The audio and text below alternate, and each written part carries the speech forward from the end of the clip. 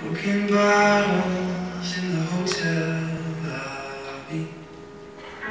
Seems to me like I'm just scared of never feeling again. I know it's crazy to believe in silly things, but it's not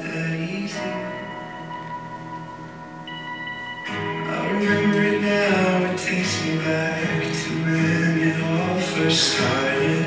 But I've only got myself to blame for it, and I accept it now. It's time to let it go, go out and start again. But it's not that easy. But I've got